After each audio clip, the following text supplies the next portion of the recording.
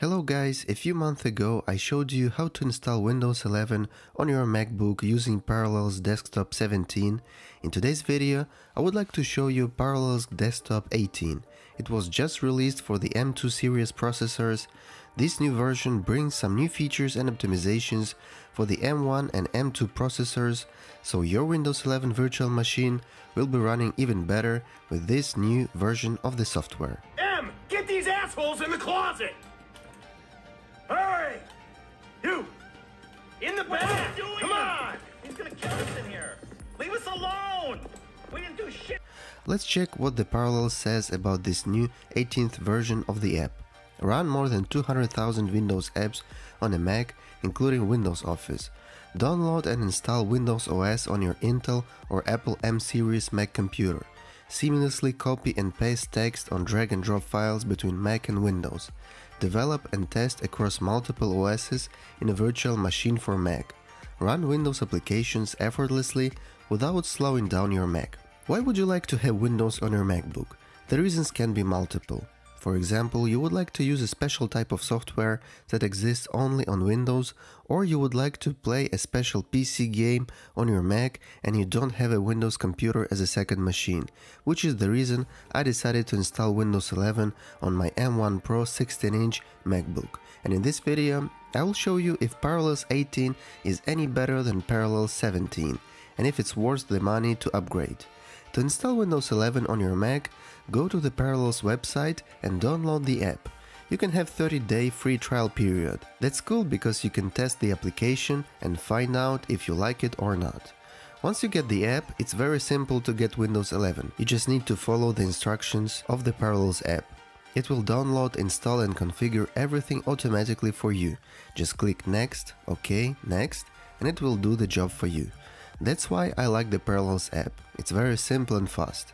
As you can see, I already installed Windows 11 on my computer and upgrading from Parallels 17 to Parallels 18 did not break my virtual machine.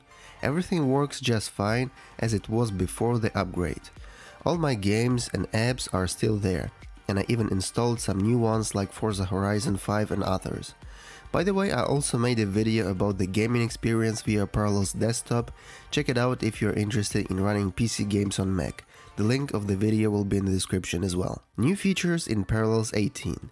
It is optimized for new macOS Ventura, Intel and Apple M series chips, including M2, and has everything you need to boost performance. Easy to set up, download, install and configure Windows 11 in one click. Optimized for the latest Apple hardware, improved compatibility with Apple's ProMotion technology, delivers optimized synchronization between Mac and Windows. Enhanced gaming experience, automatically use your Xbox or DualShock Bluetooth controller for the ultimate gaming experience. That's actually a nice feature, now you can use your PS5 controller with your virtual machine and Windows. Sounds cool. Use Windows side by side with macOS on your MacBook, no restarting required, lightning fast. Graphic and resource hungry Windows applications run effortlessly without slowing down your Mac. Run applications such as Microsoft Office, Power BI and hundreds more. Play your favorite classic Windows only PC games. Choose your view. Make Windows invisible while still running its applications in coherence mode or if you're new to Mac, you can set Windows to occupy your entire screen, so it looks just like it would if you were using a Windows PC. That's cool because sometimes I need to run a Windows app for just one simple task and I can do that with Parallels Desktop and it looks like a normal app for macOS. How do I play Windows games on Mac? Play hundreds of Windows-only games on a Mac using Parallels Desktop. Enable the gaming profile to give more RAM and CPU power to Windows for optimal performance and experience. Download a free 14 or 30 day trial of Parallels Desktop and see if your desired game is supported. Parallels 17 versus Parallels 18. The only difference I saw is the optimization for M1, M2 based computers. Games are running better and faster, but it was already good in Parallels 17, so if you have the previous version, I don't think you should upgrade to the Parallels 18.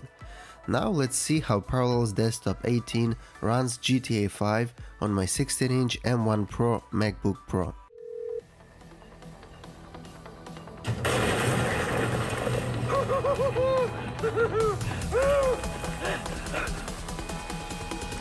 All right, you do this. Show me the. Slow and steady, team. Slow and steady. Oh, there it is. Oh, there's enough here for us all to enjoy. Depends on how you look at it. What's the holdup? Out, B! Give it up! I got him! I saw your face, I remember you. We forget a thousand things every day. How about you make sure this is one of them? I've seen his eyes. He's crazy. No one's crazy. Right thing. Fuck! You didn't have to do that. Let's get going. There'll be time for grieving. Drop it, prick! Don't be as dumb as you look. Get in their faces! Get out of here! Back the fuck down! Fuck these guys! Get down!